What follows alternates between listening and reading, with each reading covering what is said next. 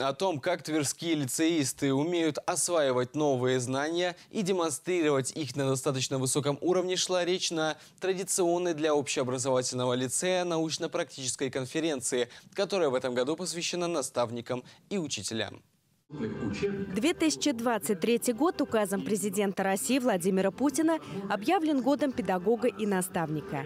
Миссия года – признание особого статуса педагогических работников, в том числе выполняющих наставническую деятельность. Поэтому в общеобразовательном лицее региональный Давузовский комплекс было принято решение посвятить 22-ю научно-практическую конференцию «Будущее за нами» именно этой теме. В приветственном слове участникам конференции директор лицея Татьяна Жалагина напомнила о том, какой серьезный вклад в развитие отечественной педагогики внес Константин Ушинский, которому в этом году исполнилось 200 лет. Роль конференции, вот таких научных, которая уже их готовит к следующей ступеньке, ступеньке вуза, имеет огромное значение. У нас вообще проектная исследовательская деятельность – это наша основа. И если они проекты готовят, начиная с второго класса и до одиннадцатого, то понятно, что потом в ВУЗе им это достаточно легко.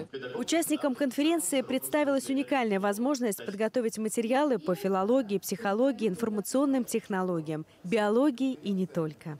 Для выступления на конференции я приготовила доклад на тему «Жизнь в цвете». Мой доклад на стыке психологии, биологии, физики и дизайна.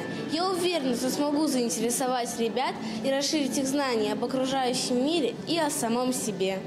Региональный Давозовский комплекс – уникальное учреждение в Тверском регионе, обеспечивающее высокий уровень образования учащихся, позволяющий развить их учебные склонности, реализовать творческий потенциал и получить бесценные опыт и знания от своих наставников.